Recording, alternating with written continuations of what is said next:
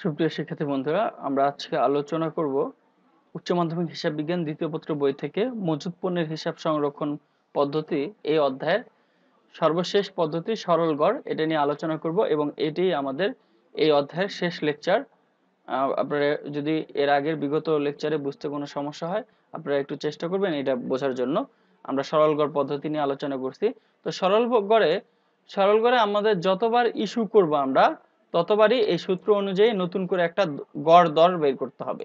উপরে দর লিখব আর নিচে হচ্ছে ক্রয়ের সংখ্যা এটা হ্যাঁ? তো আমরা, এটা হচ্ছে কত? দুই হাজার চোদ্দ সাল।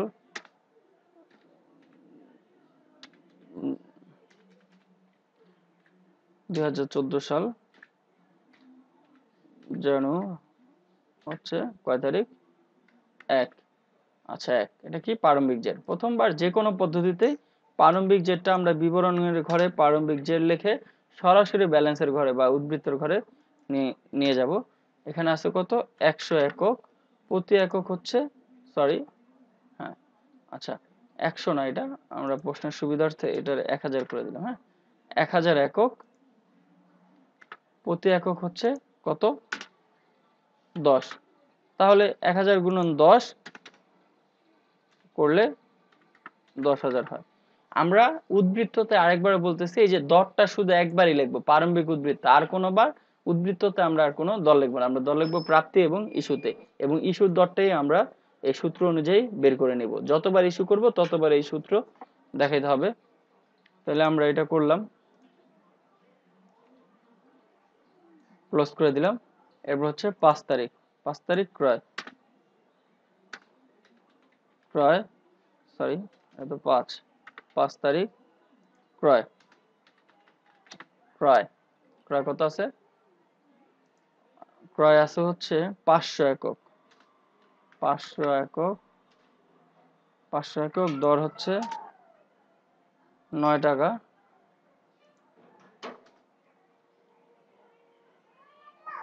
পাঁচ নং পঁয়তাল্লিশ, চার হাজার পাঁচশো, চার হাজার পাঁচশো। এবার আমরা উদ্বৃত্তের ঘরে কি করব? উদ্বৃত্ত তো দল লেখা যাবে না। আমরা কি করব? এই পরিমাণ আর এই পরিমাণ, এই দুইটা যোগ করে এখানে লিখব। পরিমাণ আর পরিমাণ যোগ করাতে আমাদের এখানে আগে ছিল এক হাজার আর পাঁচশো পনেরোশো।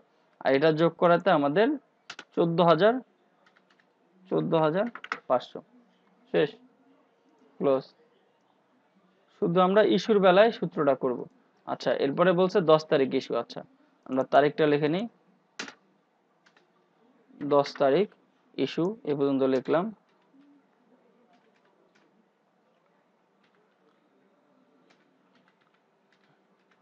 ইস্যু ওকে ইস্যু ঠিক আছে? কত একক? সাতশো একক। আচ্ছা এই পর্যন্ত সাতশো লিখে নিলাম। আমরা দরটা বের করব হচ্ছে সূত্র অনুযায়ী। ওকে সূত্রটা ছিল এটা, যে দর বের করে কয় তারিখ আমরা এটা? রাফ করতে হবে এটা, আমাদের রাফ দেখাই দিতে হবে হ্যাঁ? প্রশ্নের নিচে। অ্যান্সারের নিচে আমাদের দেখাই দিতে হবে পরীক্ষার হলে। আচ্ছা দর। দর আমরা এই সূত্র বের করার আগে কয়টা দর পেয়েছি? দুইটা। একটা আর এই যে এখানে একটা, দুইটা। তাহলে এই দুইটা আমরা দর লিখব হ্যাঁ দর দুইটা লিখব দশ আর হচ্ছে যোগ নয়। আর এখানে কয়টা লিখছি? দুইটা না? এই দুইটা বেশি তাহলে ভাগ হবে দুই দিয়ে। ভাগ দুই। আরেকবার বলতেছি, ইস্যু পর্যন্ত আমরা আগে কয়টা দর পাইছি, ওই দর দুইটা পাইলে দুইটা উপরে যোগ করে লিখব, তিনটা পেলে তিনটা। তাহলে এখানে যদি দুইটা পাই, নিচে দুই দেওয়া ভাগ, তিনটা পেলে তিন দেওয়া ভাগ।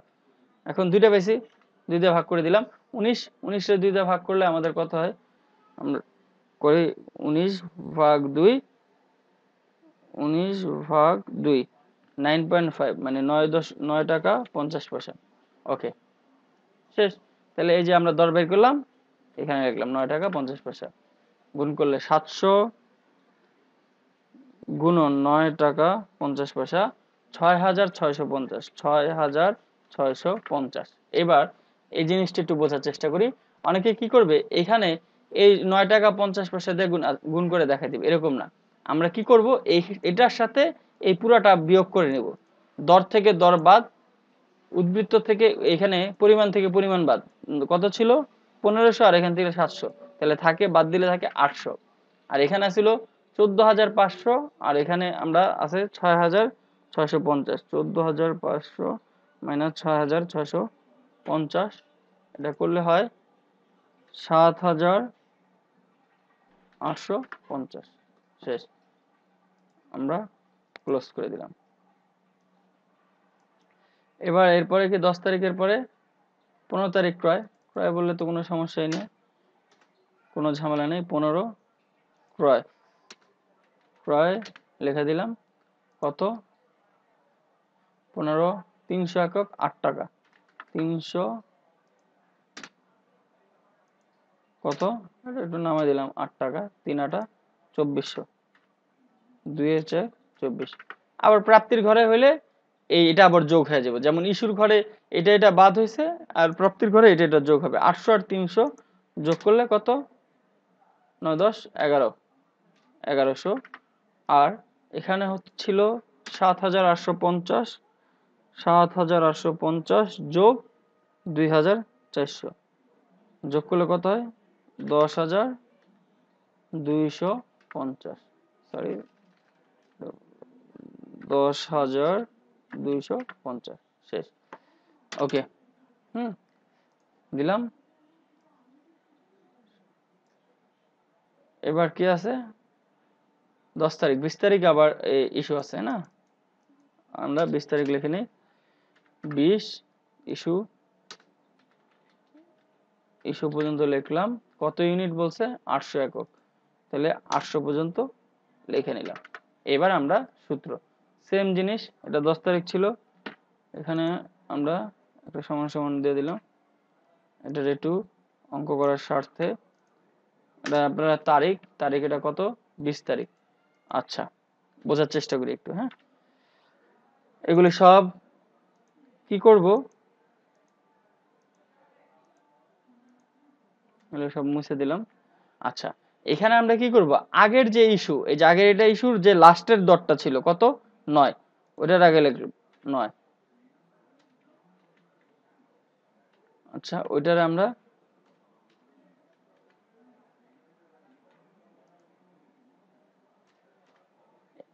লাস্টের এটা লিখব এবং এই ইস্যু করার আগ পর্যন্ত দর কয়টা ছিল? এই যে ইস্যু এরপরে আমরা দর কিন্তু একবার লিখছি, এই যে আট। তাহলে নয় যোগ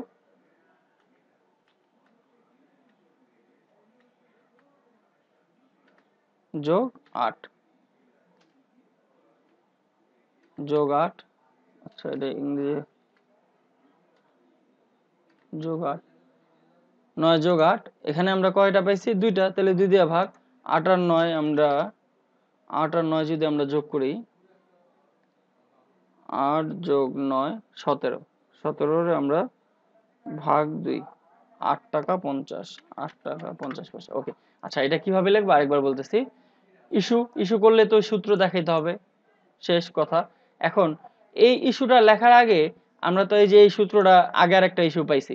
তো ওই ইস্যুর যে লাস্টের দরটা ছিল, একটা ছিল দশ আর একটা ছিল নয়। লাস্টে কত ছিল? নয়। ওইটারে সেকেন্ড ইস্যুর সামনে এনে লিখব দরে এরপরে দেখব যে এর পরের ইস্যুতে আমরা কয়টা দল লিখছি? এরপর এই যে, এই ইস্যুটা ছিল এখানে। এরপরে আমরা আর কয়টা দল লিখছি? একটা। তাহলে ওইটার আইনা যোগ করে দেবো। দুইটা থাকলে দুইটা। আট, একটা। তাহলে এখানে দুইটা আছে, দুই দিয়ে ভাগ, আট টাকা পঞ্চাশ। তাহলে আমরা নতুন দর পেয়ে গেলাম, আট টাকা পঞ্চাশ, আটশো গুণন আট টাকা পঞ্চাশ। আটশো গুণন আট টাকা পঞ্চাশ, ছয় হাজার আটশো। ছয় হাজার আটশো। শেষ। এবার কি? এখান থেকে এটা বাদ, এটা থেকে এটা বাদ। আটশো থেকে এগারোশো থেকে আটশো বাদ দিলে তিনশো। তিনশো আর দশ হাজার দুশো পঞ্চাশ থেকে ছয় হাজার আটশো বাদ। দশ হাজার দুশো পঞ্চাশ মাইনাস ছয় হাজার আটশো করলে কত হয়? তিন হাজার চারশো পঞ্চাশ। শেষ। অঙ্ক এখানে যে আর কোনো কোশ্চেন নেই, এখানে শেষ শেষ।